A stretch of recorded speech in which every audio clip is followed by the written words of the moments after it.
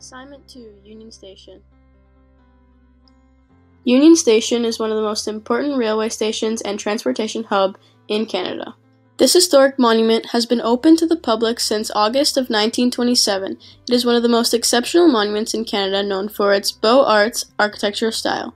It was constructed during World War I and was built to replace an older railway station which was located west of York Street. The construction began in 1914, however, due to World War I, there was a shortage of materials which led to the official opening in 1927. This building is made up of three box buildings connected, which face Front Street, with the main building in the center.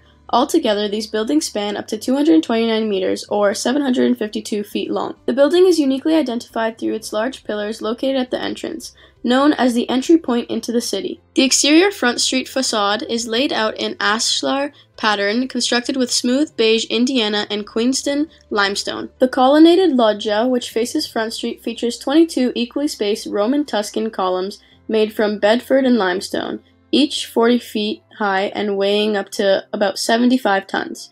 Union Station's ticket lobby or Great Hall is lit with diffused natural light from the clerestory windows throughout the lobby. Materials used were bronze, limestone, marble, tiles, and translucent glass, created a sense of enduring quality.